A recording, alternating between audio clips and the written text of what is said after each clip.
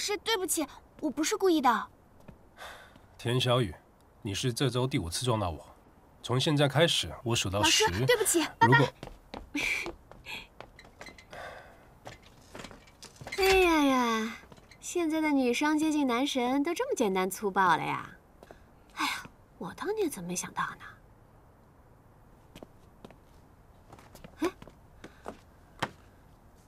哎呀，堂堂的男子汉季老师，居然看这种言情小说，气味很独特哟。想看吗？拿去。啊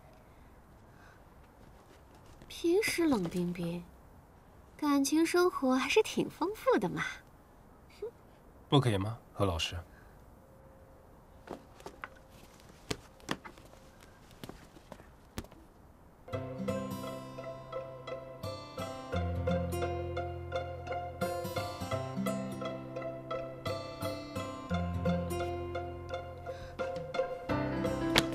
我说这些书怎么都借不到呢？原来都在你这儿啊！反正这几本先借我，谢谢季老师。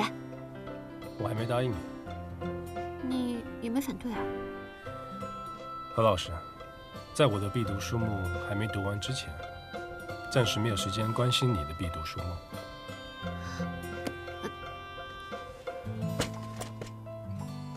唉，季老师。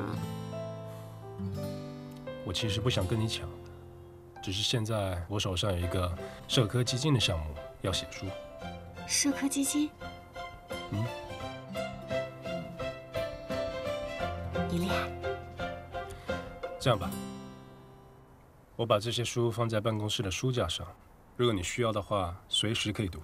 但是这是不能带回家。真的？嗯。还有，这些言情小说不是我的，是我上课的时候没收的。哦，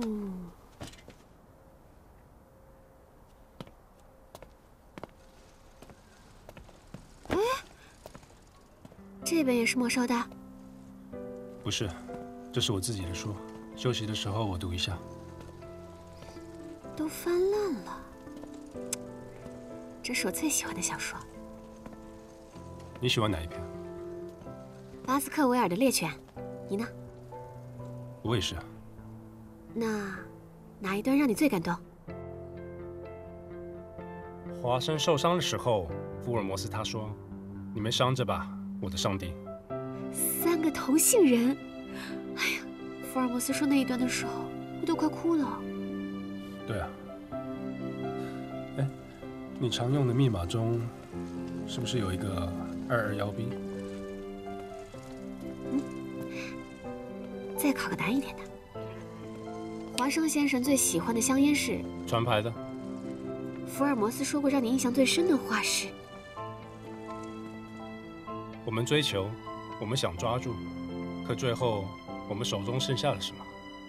一个幻影，或者说比幻影更糟，痛苦。